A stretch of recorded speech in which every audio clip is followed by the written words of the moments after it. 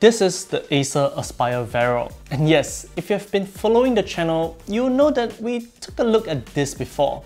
But just like any other laptop, this gets a well-needed refresh. And the one we have here, it's the newer 14-inch model. We tried it out, put it through its paces, and all we have to say is that this is not just value for money, but you can also play your part and save the planet. Of course, one step at a time.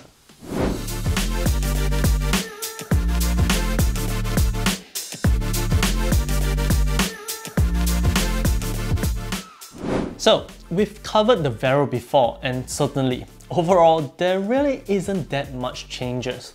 You're still going to get a 100% recyclable packaging made mostly out of recycled paper and the laptop soft cover and the sheet are also made of 100% recycled plastic. To add on, the sleeve to protect the power adapter during shipping also makes use of recycled cardboard and this entire compartment can be reused to make a laptop stand. Again, it isn't a fancy unboxing experience for sure, but if you're someone who wants to take that effort to go green, even just a little, it's still a pretty pleasant unboxing experience. We then talk about the Vero itself, and you'll instantly notice the unique look and the feel of the chassis. The last time around, we took a look at the grey colour and that wasn't too bad, but here we have the blue. I've gotta say, we definitely do very much prefer this colourway. And remember, this actually isn't paint, but rather the color of the plastic itself. So it's pretty unique in a way, and of course, where the green effort comes in is the fact that this chassis is made up of 30% PCR materials. According to Acer, that will be the top and bottom cover, the screen bezel, and the operating surface. The keycaps themselves are also made up of 50% PCR materials, and that ocean glass touchpad makes use of ocean-bound plastic. To remind you of all of that, you'll find the PCR text on the bottom corner of the operating surface and the R and E keys will have that font mirrored to remind you of the, well, the three R's, reduce, reuse, recycle. After using the Vero for about 3 weeks, we really got to say that the build quality is rather great and it doesn't fall short as compared to any other laptop that makes use of similar plastics. The 14-inch variant also has a manageable weight of about 1.5 kilograms, which makes it much more portable as compared to the 15.6-inch variant. Will this chassis stand the test of time? Absolutely. We would say that there's no reason to doubt that. As for the display, you're of course getting a 14-inch panel. It's a regular IPS panel which sports a resolution of 1920 by 1080 running at 60Hz and covers 100% sRGB while having a max brightness of about 300 nits. This is a display that's pretty much par for the course. It isn't amazing in any aspect, but it'll still be great for general usage, content consumption, a little bit of content creation, depending on what you do, but even gaming. We do however find that the 300 nits brightness is still a tad low, even though it actually is already an upgrade from the previous 15.6 inch, but we would say that 400 nits would have been welcome. As for the camera and microphone, they aren't spectacular in any way, but it's definitely not bad. It definitely gets the job done and at the very least, it's 1080p.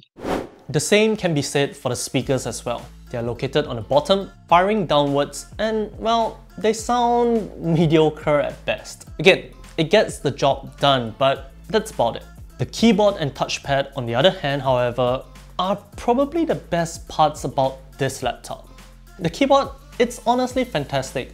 They feel great with just the right amount of key travel and it's really comfortable to use for long periods of time. The keys do feel a little more cushioned compared to others and they do have a kind of, well, I would say a much lower tone. In keyboard terms, they do have more of a thock rather than a clack, but it's not really a thock, it's just that it's not that high pitched, just lower tone. Anyways, the touchpad is also of a decent size and the glass texture is just as great as any others that aren't derived from the ocean. There's also a fingerprint reader at the top left corner for easy and fast authentication. Now with this refresh, you do of course get new specifications and that also comes with a new set of ports. In terms of specs, you'll be getting an Intel Core i7-1255U, 16 gigs of LPDDR4X RAM, and half a terabyte of PCIe Gen 4 SSD storage. And so for the ports, we are also talking two USB 3.2 Gen 1 Type A ports, a Thunderbolt 4 port, which is Type C, a 3.5mm headphone mic combo, and HDMI 2.0. But under the hood, you'll also be getting Wi-Fi 6E and Bluetooth 5.2. Now, Wi-Fi 6E might be quite the huge upgrade depending on your setup. Not only will you be able to achieve faster speeds overall, but more importantly, you will also get access to the 6 GHz band with a compatible router and of course if your country and your ISP supports it. And again, you're getting all of that in a laptop that's really affordable. Have we talked about price yet? As configured, this Acer Aspire Vero will set you back roughly 1500 Singapore dollars or just under 900 US dollars. Though you will also usually find sales and at the time of filming this review, here in Singapore, you can actually get this, same specifications, for just about 1300 Singapore dollars. Now if you're in the US or anywhere else in the world, there are a number of SKUs available and you can probably get it for much less. Now the performance is great too, no issues on that front pretty capable scores in Cinebench R23 and you can even play Valorant on it at 1080p high settings and still achieve over 140 frames per second. If you're talking like a more demanding games like Genshin, you can also play pretty well with adequate settings. You needn't worry about temperatures either, all is well under control. Lastly, battery life. Battery life would certainly be one of the main concerns when considering getting such a laptop to be your daily driver. This is yet another strong suit for the Vero. In eco mode using VeroSense, you could get just about 10 hours of average use in a real world scenario with that 56 watt hour battery. So that means a day of use without the charger, not really an issue at all. And that's really what sums up the Acer Aspire Vero. It's a laptop that does everything pretty well at a price that's really affordable. Now, you might argue how green you can really get with a laptop of all things, and to a certain extent, you'll be right. But at the end of the day, we simply have to do our part and if this is something that would help towards that goal in one way or another, while being able to cater to the wishes of a general consumer, why not? Every step counts. Anyways, if you have any questions, let us know in the comment section down below. If you like what we do, do give this video a like and subscribe to us for more of such content. Don't forget to follow all our social channels on Facebook, Twitter, Instagram and TikTok, and we'll see you in the next one. See ya!